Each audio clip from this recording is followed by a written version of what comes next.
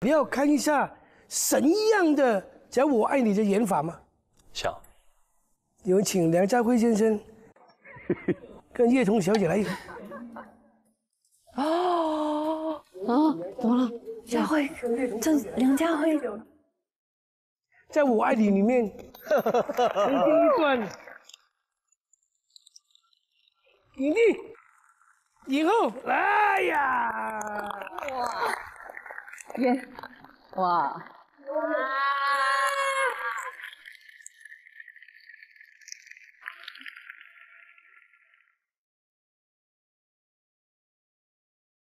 哇我我让我走，让我走。这回终于可以一觉睡到天亮了。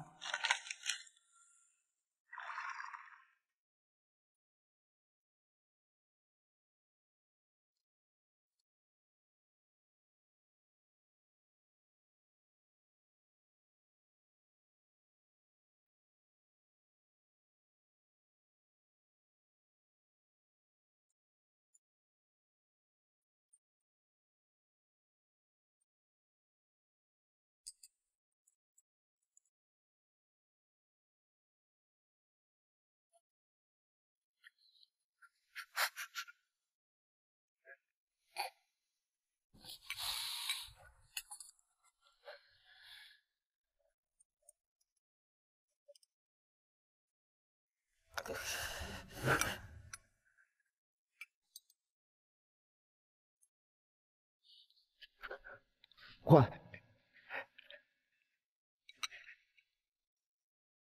喝完的，这这这这就不会疼了。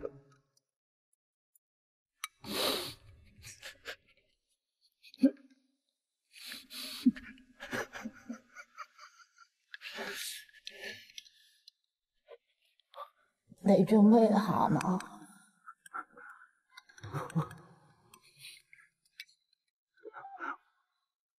因为我爱你。来，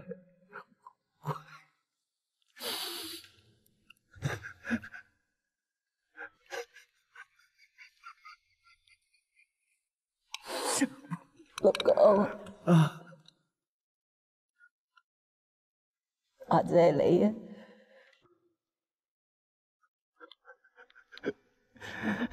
好，喝完睡觉。啊。啊，好。嗯嗯。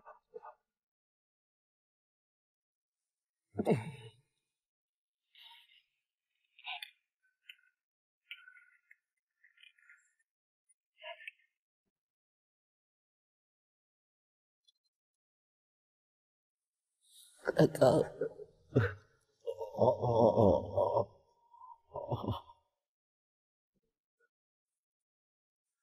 我中意你啊！我都中意你。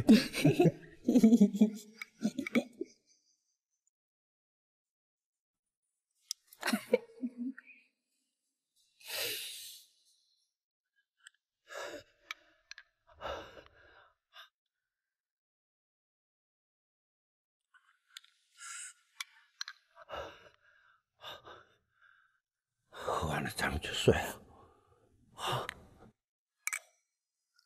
好。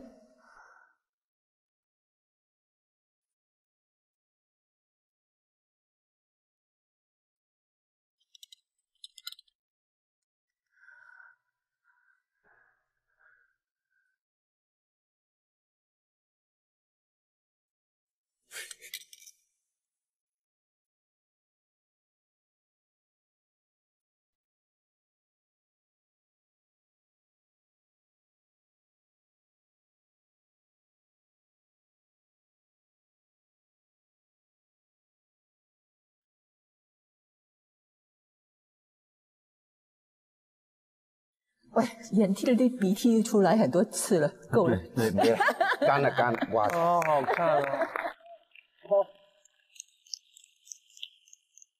他们还原了那场最难演的戏，完全没有前面的任何的酝酿哦，直接入戏，我有被惊讶到，嗯，然后一直就跟着他们的情绪，对。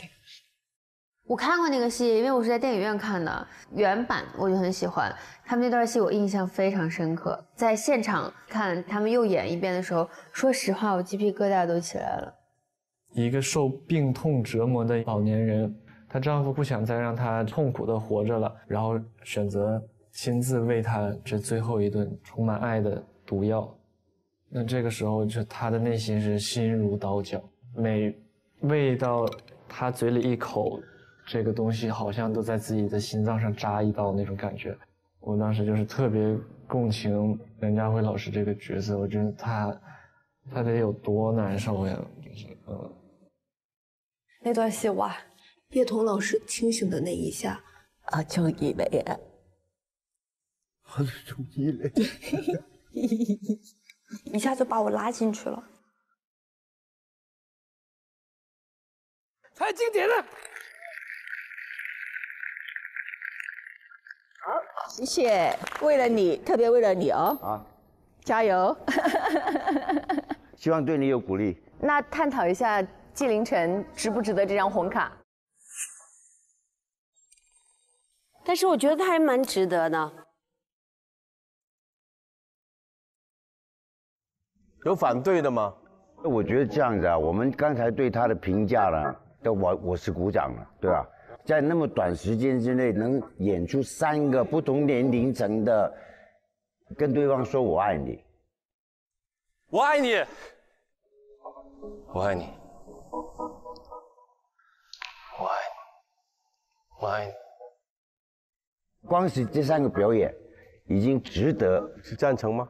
啊，赞成。啊，不赞成。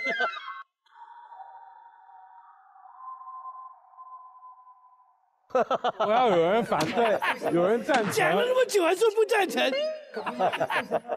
因为我我觉得我在语言上已经鼓励了他。嗯，谢谢谢谢。已经鼓励了他，再给他一张红卡的话，会突然增加他的接下来的压力。是是是是，对吧？继续加油。谢谢谢谢谢谢各位老师，谢谢。能得到各位老师的夸赞，我已经很开心了。意识到自己和导师还有很大的差距，我会继续努力的。他给今天的录制画了一个比较完美的句号，剩下的就是明天录了。今年的演员比较成熟，会有一些呃在行业里面有困惑，或者是有一些想改的，或者是有一些呃想有一些愿景。对对比上一届，就觉得我们应该要付出更多，因为之前都是年轻演员，我们只鼓励。在这一届，我觉得我们真的有义务，因为他的好像被卡住了，有些人希望能打打开这个这个关口吧，希望能。